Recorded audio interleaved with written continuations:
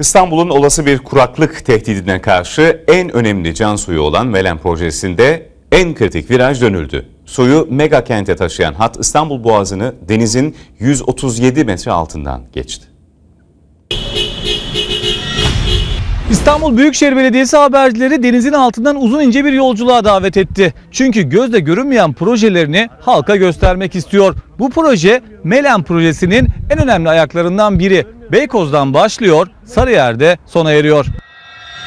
Evdeki çeşmeye giden suyun vanasını düşünün. Hani elimizle kapattığımız işte tam bu noktaya o vanaya benzer bir sistem konulacak. Buradaki giriş noktası yaklaşık 2 metre, içerideki borularsa 5 metre çapında ve proje tamamlandığında önümüzdeki 50 yıl boyunca İstanbul'da su kesintisi sadece ve sadece teknik sorunlarda arıza halinde yapılacak. Evet tarihi yolculuğumuz başlıyor. Ortam biraz Sarıyer dolmuşları gibi ama fiziki şartlar ancak buna el veriyor. Biri bana yardım edecek. Geçtik. Birazdan uzun ince yolculuğumuz başlayacak. İstanbul Boğazı'nın altında başka ayrıntılarla bu haberi anlatmaya devam edeceğiz.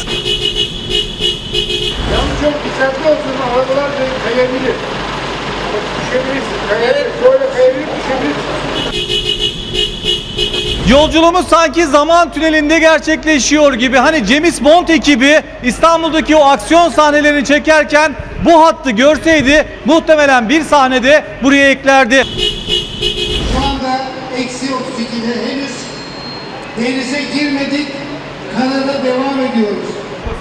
Beykoz'daki yolculuğumuzda deniz seviyesinden 19 metre yukarıda başlamıştık. Şu anda deniz seviyesinden tam 137.2 metre daha aşağıdayız. Yani şu an burada bir denizaltı olsaydı her santimetre karesine 150 tona yakın su basıncı olacaktı. Bir dalgıcınsa buraya inmesi elbette imkansızdı. Oysa biz tarihi yolculuğumuzu araçlarla sürdürüyoruz.